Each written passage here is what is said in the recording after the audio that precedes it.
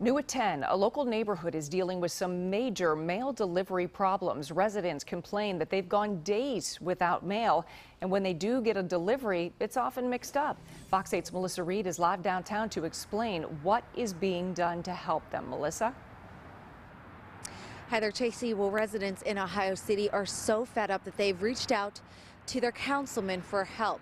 That councilman says he reached out to USPS but has not heard back, so he has enlisted the help of a local congresswoman to deal with this issue.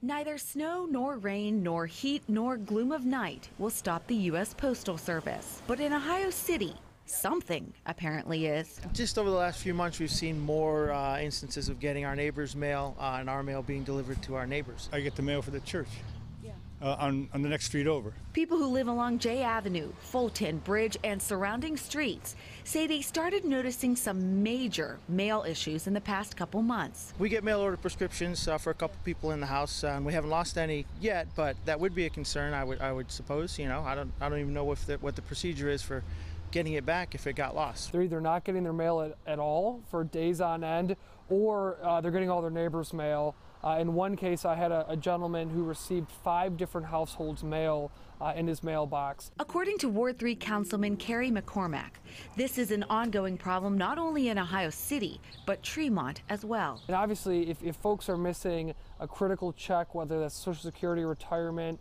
disability, I mean, that's the difference of being able to pay uh, your mortgage or not, or to be able to pay, you know, your utilities or to put food on the tables. McCormack says his calls to USPS have been ignored, so he's enlisted the help of Congresswoman Marcia Fudge. Uh, what we've done is we've worked with our Congresswoman's office when we have these issues. They've been great. They've been great at kind of getting answers and getting through to the Postal Service. Um, but it took, you know, talking to our congressperson for them to call us back, which is unfortunate. Meantime, people are being asked to demonstrate neighborly courtesy by leaving a note on any erroneous mail or dropping it off at the right address. And it's nice to, uh, to, to have an excuse to connect with your neighbors. I reached out to USPS about uh, the mail issues in Ohio City as well as Tremont. They said that they are looking into the issue, however, not a formal statement at this point. Tracy. Well, hopefully they can come to some sort of conclusion. I mean, was the, was this the result of just one delivery person or a couple of them, or you know what's going on? Because, as the councilman said, there people are waiting on very important mail. Yeah, and not only that, they said that this has been an issue for in the past, but mm-hmm. it, it's kind of gone away, and they said it's been the past couple months. So I have a feeling they're going to get to the root of this issue. Well, let's hope. All right, Melissa, thank you.